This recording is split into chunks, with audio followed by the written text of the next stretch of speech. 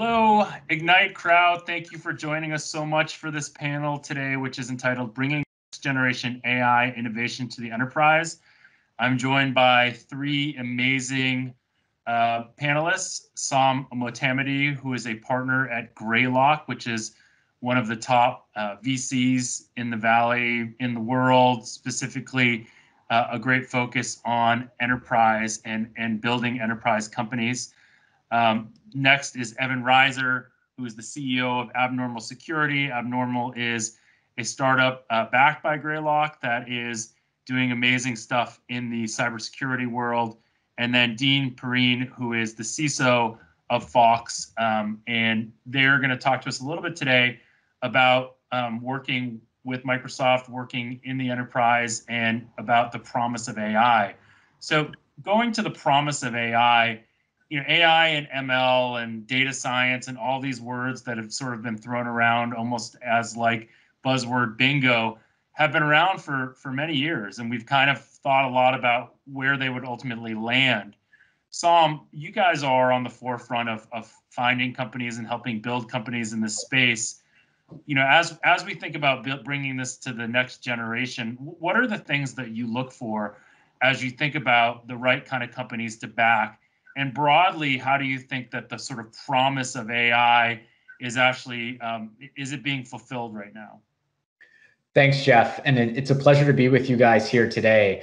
I, it's an excellent question. So you, at Greylock, we've over the last few years witnessed the incredible potential and growth of AI to drive business transformation across verticals and across workflows. And every week we meet with new entrepreneurs who are starting AI enabled businesses and we also interact with customers and Fortune 500 enterprises who are eager to understand and act on the potential impact of AI on their businesses. There's a variety of market statistics out there, but but I think you know most people anticipate overall spend on AI to be well north of 100 billion dollars by 2023. And and so there's a lot of excitement around what can be done. The interesting thing is despite the excitement, the investment, the number of companies, there's a gap in the actual impact AI is having inside customer environments and across different business workflows. And there's frustration on, on the enterprise side around, hey, I've spent a lot of money and effort on different AI infrastructure, AI applications, AI tooling, and there's not a lot of ROI to show for it. And we've thought about this a lot. And if I if I think about why is that happening, there are a couple of primary reasons. The first is a lot of companies are sort of AI first, but are not actually focused on real customer problems. And so they come to us and pitch us on, hey, here's a new AI company, but they don't actually connect the value that that AI can drive back to an important customer problem. I think the second issue is a lot of companies use AI more as a marketing term, but when you actually look under the hood at what they're doing, there's not real AI that can drive quality and differentiated software value. And I think the third challenge we see newer companies fall into is if they have AI product built, if it's aligned against a customer problem, then there's a question of how do you scale that product efficiently and with quality. And so to connect this back to sort of the turning point and, and what do we look for when we invest in AI companies, I, I'd say overall what we're looking for is companies that are solving customer problems with superior products that leverage data sets and AI and the application of AI on top of those data sets to drive superior value. And so we think a lot about for a new company, what's the workflow that you're going to transform? Is there data either in the customer environment or outside of the customer environment that you can leverage and train your machine learning models on? And then can you actually deliver that value uh, scalably and with sufficient quality? So Saam, you touched on something interesting there, and one of your points was around real AI versus sort of the, the marketing AI. Dean, as someone who has to buy or who's looking to buy AI solutions and and obviously look to be on the cutting edge of what's happening, how do you distinguish, you know, what's real and and what's just marketing jumbo or what's buzzword bingo? Yeah. Well, you know what's funny about the word bingo? So we actually walked around RSA with a buzzword bingo sheet that someone by the name of Kelly Shortridge made from from uh, another company. Um, and we were just checking off how many companies were using ML or AI as part of their marketing lingo. Um, as a as someone in cyber and specifically for our team, uh, and I think Evan would agree with this that you know, so many companies are are using that as a tactic now. As Saam said, they they come at you with you know AI ML first versus talking about the problem they're they're trying to solve. I think that one is is one thing to check on is are, are you getting bombarded with that or are you actually talking to the vendor only about the problem and them showing you how they're solving the problem and then you know the proofs in the pudding the results the results should speak for themselves i think one thing you know especially working with abnormal over the last uh, several months is it, it, I mean, it was just it's just a game changer, right? The proof is in the pudding. It's it's so obvious when it works uh, that it's that it's very clear. You know, it's kind of funny um, when I work with some companies that are that are in this space. They'll they'll integrate. They'll say, all right, hold on, we need to go. We need to go uh, set some things up for you over the next couple of weeks, and we'll be back. And then they show you the results.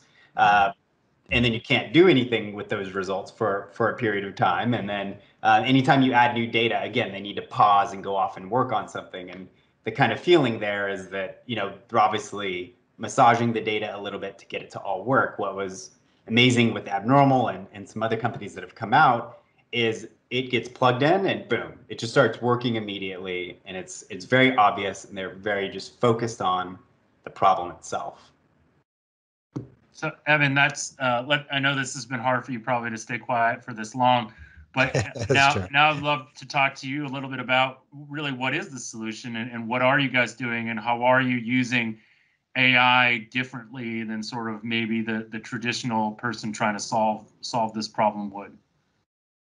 Yeah, well, um, you know, th- thanks again for uh, having us, Jeff. Um, I mean, one thing that Saam said that really resonated with me is the the kind of the idea of like focusing on on problems first um, when we when we first started uh, the company, um, you know, even though me and my team we come from advertising technology, which is or an advertising technology background, which is infamous for using behavioral modeling to you know um, you know improve those improve and personalize those products. You know, we didn't we didn't start thinking, hey, we have a great we're great AI people. What can we go do? We actually talked with you know probably 100 or 200 you know uh, fortune 1000 customers and we just said hey what are the biggest problems you guys have? And you know what what um you know what kind of keeps you up at night? And by far the most common answer we heard was you know email securities and specifically social engineering and supply chain compromise.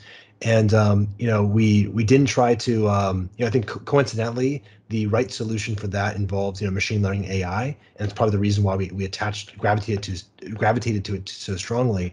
Um, but you know that's been our kind of approach to stay very focused on that problem. And you know it, it turns out that the way we solve it is through AI and machine learning. But when we talk with our customers, right, we don't start off you know just what Dean said, like we don't start off saying, hey, check out this cool machine learning, right, like cool stuff we're doing. You know, we basically we, we try to show how well we understand the problems. We you know we let our solutions speak for ourselves. And when the customers say, wow, how are you guys able to do this? Or I've never seen anything like this then we explain, hey, it's really AI machine learning behind the scenes. And I think that that approach to be very, you know, customer focused and kind of solution focused has been, um, you know, an advantage for us, you know, relative to I think you know some of some some, uh, some other cybersecurity companies that are very technology first, and it's kind of unclear what they do and how it works and how well it integrates, you know, into, into you know into the enterprise. So having having the three of you guys on this panel at a Microsoft event, right, is is not something I would think that you would have thought you would certainly not saw him. You probably wouldn't have thought. And I know Evan, you you weren't when you started. Uh, you know, you, abnormal. You weren't necessarily uh, a big Microsoft person at that point. You know what what what has brought you guys here, and sort of what what role do you think that Microsoft can play in you know building or or or in bringing AI into the enterprise or in in basically fostering innovation um, in the enterprise with AI.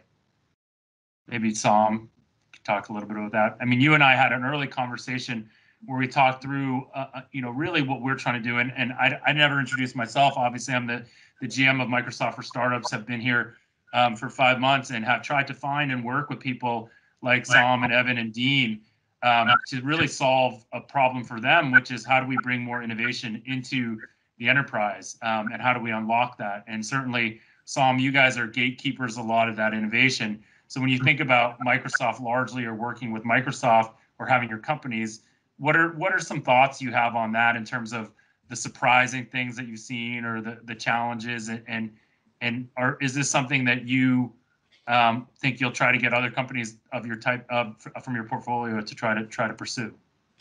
Yeah, it's it's a great question, Jeff. Um, you know, I'd start by saying, you know, just to give folks some context, like we at Greylock over the years, we've had the privilege of partnering with many cybersecurity and infrastructure companies more generally, several of which have gone on to be leading franchise public companies. And with Abnormal, we've been very impressed with the early traction they've had in the enterprise market and, and the ability that they've had to partner closely with Microsoft and Microsoft for startups to generate that traction. So, you know, a couple of things I'd note, right? One is I want to go back to things like both Evan noted on and, and Dean speak to spoke about as well, which is what does it mean to do an AI company right? Right. And I think we talked about starting with extreme focus on a customer problem. But then I think the second component, which is also very, very important, is how do you actually drive real AI with sufficient quality and scalability to solve the customer's problem? And I think this dynamic plays out very nicely for Abnormal because their value prop to the end customer is so directly tied to the quality of their AI and the quality of their ability to detect and prevent these advanced email threats. And they've gotten strong leverage from working with a partner like Microsoft, who's put a lot of time and investment into the different AI services that they make available to their partners, and then leveraging some of those underlying components to deliver this value to their end customers. So I think that's one piece that we've seen and been very impressed by. I think the second piece goes back to what Evan mentioned when he started the company and just his customer focus, which has really been on the largest and most lean forward enterprises in the world. And what's been most important for the company's success to date has been their traction uh, with those companies. And I think it's worth noting that Microsoft has you know extremely attractive relationships with customers in this segment and also reputation and ability to partner with companies and bring companies into this segment. We've seen abnormal benefit from that. And i think to the last part of your question jeff like absolutely as i think about our enterprise software portfolio more broadly there are a number of companies that could benefit on both of these vectors by working more closely with microsoft. All right well i'll get those names down later. I'll write it down. Um, dean from your standpoint you know as as Saam has mentioned, a lot of the, these ideas. Um, you, you're someone that is is looking to innovate, obviously, within your own company. As you think about, you know, build versus buy and that type of thing, you know, what what challenges do you have in working with startups, and does Microsoft as a partner help overcome some of those challenges? Um, you know, how how how as an entrepreneur should one think about, you know, selling into someone like yourself? Yeah, no, it's a great question. I think, you know, well, first off, Fox loves working with startups, specifically our cybersecurity team. Uh, we love working with startups, especially uh, startups such as Abnormal, of course. I think Microsoft provides a, a lot of the resources and backing and the technology infrastructure uh, to make to make these things possible. Like Saam said, and Evan said, you know, you have to have results in order for these things to be successful. And the reason why Abnormal has been successful and has this traction is purely because of the results. Um, so I think my advice is to to get in partner partner with a with a company that actually has the ability to provide the infrastructure and their own resources, like Microsoft's own AI um, technologists, uh, as a kind of force multiplier for your own team uh, to really accelerate this stuff and and kick it off. I think if I, if I had to say one thing, it's you know abnormal. It, it'd be the best five minutes of integration effort that you've ever had to return on investment because it's so it's just so clear and direct uh, from what we've experienced. So Evan, I appreciate you saying that, Dean. He gave I mean, you a nice commercial there. I know, I know, it's great. Um, so I mean, one thing I'll, I mean, I kind of want to second what, what what Dean said. I mean, I think one, you know, going back to your question around, you know, the some of the benefits we, we've seen from work, working with Microsoft. I think there's kind of you know t- two two sides of the partnership I'm really excited by. One is on the technology side, where you know obviously Azure is you know world class security and privacy. As a cybersecurity company, right, we have to have you know incredible cybersecurity. You know our own cybersecurity, and our privacy and security needs to be kind of top the line. So I think just having a, a secure platform to build on top of is really important. Um, I think leveraging some of the the you know native um, AI tools of Azure, um, also getting you know kind of um, uh, you know maybe special access right to some of the you know early betas and the, the internal product you know that's been phenomenal i think most of that stuff is like probably pretty well known by by most entrepreneurs And the other side of the coin is, is less known, and that is really around some of the, the business benefits. Um, I mean, some of the things I'm really excited by, um, you know, my work with Microsoft is like our customers are also Microsoft customers, right? So there's a lot of opportunities around um, kind of co-marketing and co-selling where um, you know we can work together to help our customers you know solve some of their business problems. And so you know going back to like you know when when Saam, when Saam and I were you know really starting the company back in the day we were really focused on how we help customers solve problems. And you know we see Microsoft as an accelerator to help us do that you know um, better at, and at a larger scale. What what advice would you give to sort of enter to entrepreneurs that are thinking about sort of selling into the enterprise. And, and, like you you now are i think from my standpoint you know the, the company that i started before you and i met at twitter is selling the enterprise and we had no idea how to do it. And i think that a lot of I, I, would assume that you you came from a background where you had no idea how to do it either. What what have you learned in these sort of two plus years about selling into the enterprise that what are like the the what's the one lesson that you would tell future entrepreneurs about the difference in selling, you know, a consumer a consumer type product versus an enterprise type product? Well, I'm, I'm still figuring out to be frank. I'll probably ask I'll probably ask Dean for his advice, which might be better than mine. Um, I mean, a couple of things. I think you know, just kind of to repeat what Saam and Dean said. I think saying really focus on the customer problem. That's all that really matters, right? Can you build a great solution that's differentiated? Um, I think the the second one is just being um, you know very open minded when you work with customers. Like they give you you know like half you know half our product roadmap probably came from you know Dean and his team, right? So I think just being very open minded about the right way to do things. I think Silicon Valley can be a little bit too inward focused. Sometimes a lot of the answers are you know in your customers' heads, not yours. And the final thing is just the the importance of you know kind of credibility. And um, you know I think there's a lot of there's a lot of misleading marketing. There's a lot of kind of um, hand waving. And I think one thing I've been really proud about our team is just being you know very very straightforward and kind of having a really kind of no BS, you know, culture, right? And I think that's that's served us well. But but Dean, I'd love to yeah, hear yeah. your advice for other no, entrepreneurs too. Absolutely. Well, and, and kind of what I meant by the the five minute thing was make it easy, easy to use and easy to integrate, right? So it's not there wasn't a huge amount of work that we had to do when when dealing with Abnormal as to other companies. They they might have not have done all the legwork to figure out okay once a customer buys the product or they want to POC the product what's it then going to take to integrate into the environment? Enterprise teams, technology teams across the board, in particular cyber teams, are are understaffed, they're overworked, they have a lot going on. So the the smoother you can make that and just say, hey, give me two minutes, five minutes of your time, and we'll prove it. I mean, that goes that goes a long way uh, for our team at least. I think it's a good point. And going back to like the promise of AI, right? The promise of AI is like you have these magical machines that kind of go through all this data and make your life easier, right? And so I think you know making sure that the entire our entire product experience is very frictionless, right? If you have this like 30 day onboarding, 30 day evaluation, right? You need like 10,000 PowerPoint slides to go, go explain why it's valuable. Like that's not you know really very incongruent with the promise of AI. And so you know one thing I think that um, you know I, have been proud of what we've done and um, you know, just like keeping it really easy, really straightforward. Um, and then kind of like Dean said, like letting the results speak for itself. We need to sell people in AI. We just need to show them great results, right? If they're curious about how it works, we can go into the the technology. But um, I mean, again, Dean, I, I defer back to you if you think this is true. But I think uh, a lot of people in your shoes, like, it really just comes down to like, hey, like, does it work? Is it differentiated? And is it going to be super easy to like run and operate? And if so, like, that's that's a good potential match. Well, yeah, and, it's definitely in the cyber world, right? It's a it's a smaller community. Um, I mean, tech in general is, uh, you know, a lot of people know each other, and so once you start proving that out, you you gain this this critical mass, and people start talking about it, and uh, you know, you become kind of known for that, as I think Ab- Abnormal is here. So, um, so yeah. No, it's interesting because many of the concepts that you're talking about, Evan and Dean are, are not unique to enterprise, right? It's like how do you make a customer's life easier and how do you solve real problems, right? And the enterprise aspect of it sounds always scary because of long procurement cycles and all that kind of all that kind of thing that makes it um, incong- incongruent to like sort of uh, uh, uh, what it what it means to be a startup and be able to move fast.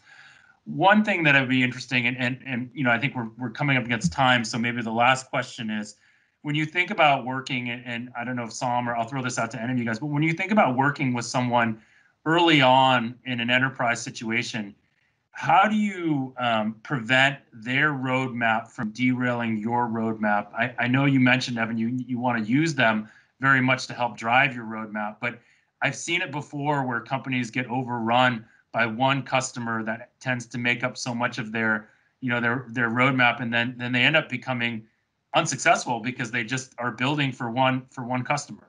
So I don't know any ca- cautionary words there, any words of wisdom.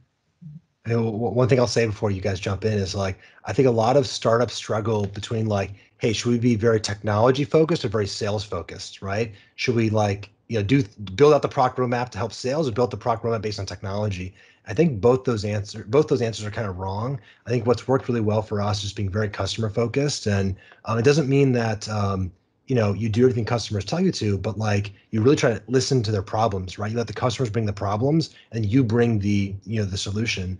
Um, and i think that that just kind of being clear about that has been really helpful for us. And we don't build things because customers want them we build things because the market wants them and we understand that by talking to you know dozens and dozens of customers and doing the pattern matching. And i think that's that's helped us you know focus some of our you know our technology development in you know in, in a way where there's very few things we build that like end up not being useful because they're very you know problem and customer you know focused. What else did you guys add?